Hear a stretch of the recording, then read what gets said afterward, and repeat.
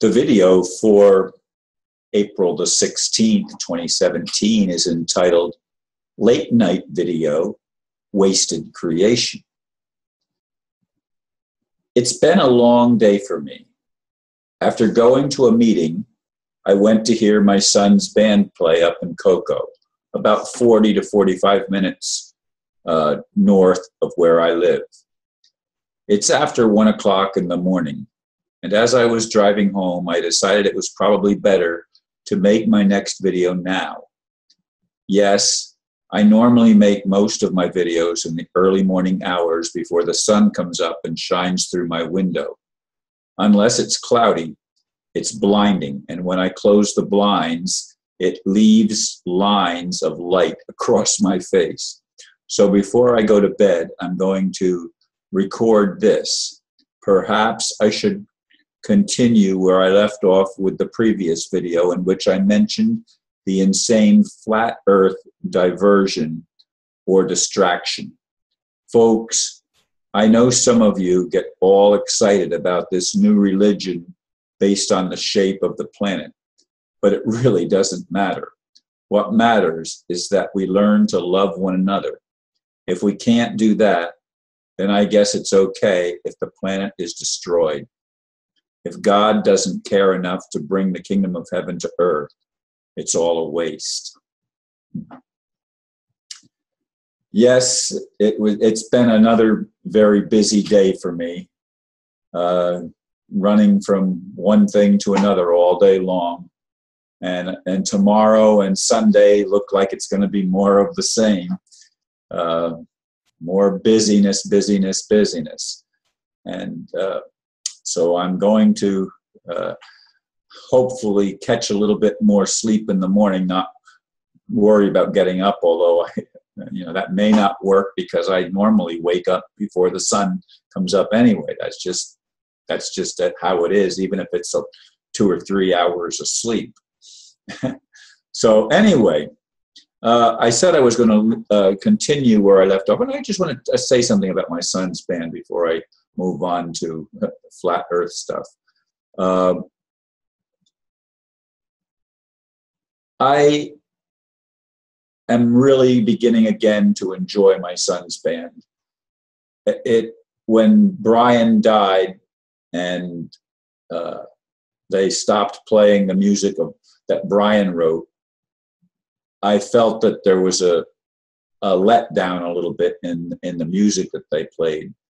But I'm really tonight. I really especially enjoyed listening to the music, even the the there's a couple of songs that they do that I really, really don't uh, care for, like "Kill, Kill, Kill the Poor." I I'm saying singing with them, and I'm saying "Kill, Kill, Kill the Rich," and it's the filthy rich. I'm talking about the people like the Rockefellers and the Rothschilds. They're the ones that we need to either they need to either be transformed or taken out of here. And as far as I'm concerned, taken out and just vanished. They don't be, beings with that mentality that evil mentality don't deserve to be allowed to influence anything or anybody. That's my opinion.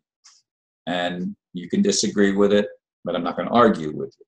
I'm expressing my opinion. You can turn it off and not listen that's okay i'm going to continue to, to speak my mind and from my heart to the best of my ability. And I want to see a world that is based on love. Now, again, this flat earth thing is a distraction to me.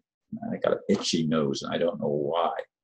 Um, it's a distraction that it's just like another another religion with some new information and it's really old information because they primitive people thought the earth was flat, and if they sailed too far, they'd sail off the edge and fall off. It's ridiculous. It's absolutely ridiculous. When we look at the when we look at the the moon, for example, which is the easiest thing for us to see, it's obviously a, a globular, a ball shape, not just a flat ball, but a ball. and you can see dimensions in it, even with the naked eye, but with a telescope and stuff like that, it even becomes more obvious. And you can see other planets, and they're balls. They're they're they're not pancakes.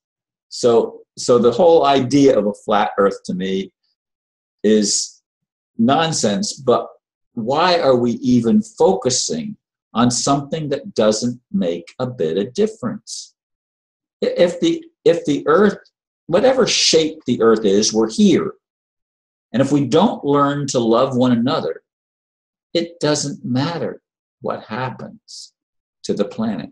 It doesn't matter even what happens to us. I mean, I, I, I certainly, sure as hell, if God isn't going to bring the kingdom of heaven to earth in my lifetime, I'm finished with it. I don't I don't want to come back ever under any circumstances. I want to be erased, just like I'm I'm saying the the evil ones need to be erased if they won't repent. Because I've always wanted good for humanity. I've I've transcended the religious bigotry of thinking that we're the only ones that are right. That's nonsense. There are no true religions. There are none. None of them are true. Love is true. What is love? Love is caring what happens to the other. Love is trying to help others succeed, not fail. Love is the opposite of fear, not the opposite of hate, the opposite of fear. And, and what I fear is that we will never have a world where love is in charge. And that's a fearful thought for me. That's a fearful concept to have a, a, an existence where there is no love, where there is no understanding, where there is no peace. And there can't be peace.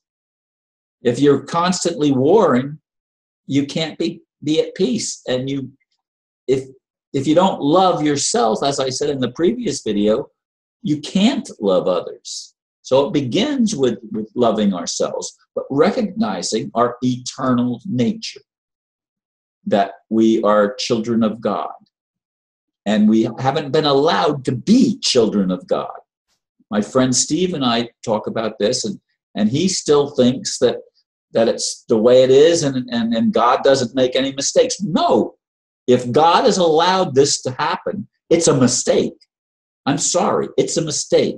Yes, I'm judging God because I can't handle the insanity of what I perceive with my thing. And it's not just an illusion, it is the current reality of human experience. That's always real. It's not fiction, it's not fake. Even if it's not eternal, it is now. It is present now. And the now is what exists. Now is really all that ever exists. And I want a now that's filled with joy, a now that's filled with love, a now that's filled with peace, a now that's filled with cooperation, where people actually help lift one another up, not compete with each other and try to push the other down. When are we going to get it? How are we going to get it? I don't know the answer, but this is the driving motivation of my entire life. It's why I live, and I'm fighting for my life. I'm exercising, I'm building my stamina back up, I'm uh, taking care of myself to the best of my ability in, in, in what I eat, and, and I'm, I'm just doing things to preserve my life and to, and to prolong it as long as possible, but I want my life to be meaningful. And I need for God to keep the promises to, to establish the kingdom of heaven on earth and to bring real justice to the situation that we as humans have found ourselves, unfortunately, um, enslaved by that needs to be corrected. Anyway, thank you for listening, folks. Uh, I don't know how good this is, and it's it's the one it's going to show whether it's good or not. Namaste.